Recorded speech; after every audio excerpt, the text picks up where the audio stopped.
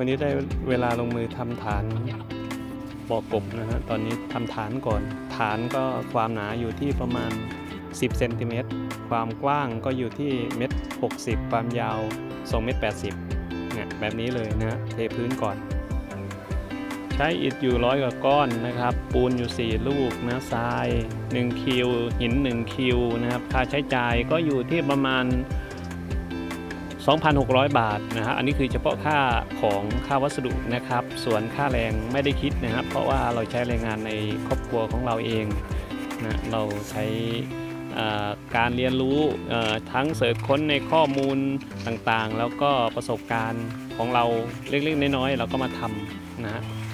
เท่าที่เราพอทำได้ เพราะว่า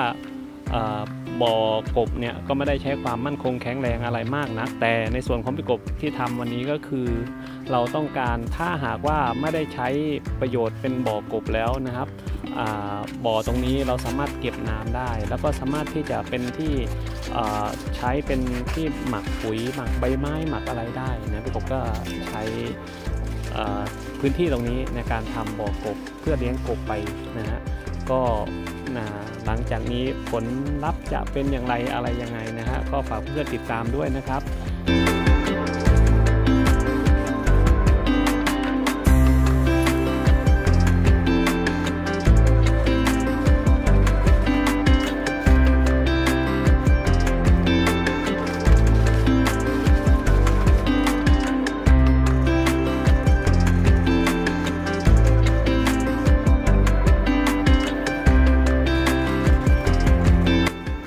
ตั้งแต่ลงมือทำมาก็ใช้เวลาประมาณ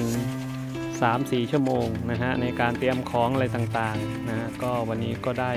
เอ่อเป็นรูปเป็นร่างนะครับ วันนี้ทำเสร็จแล้วใกล้จะเสร็จแล้วฝนก็มาด้วยก็เลยต้องเอาผ้าใบคลุมปิดไว้ก่อนกันฝนนะครับ วันนี้ก็ยุติไว้เพียงเท่านี้นะครับเดี๋ยวพรุ่งนี้จะมาก่ออ่าอิฐบล็อกต่อไปนะครับฝากเพื่อนติดตามด้วยนะครับ